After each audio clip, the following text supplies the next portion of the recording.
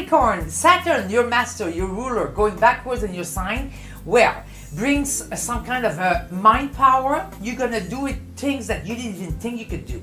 It brings also discipline, healing. You see the truth in your relationship more clearly. You are definitely becoming the master of your destiny and you're making a difference in other people's life. Step on the gas and let go of any fears and doubts, okay? Miracles is where you belong. In love, your very kind heart and generosity definitely rewarded.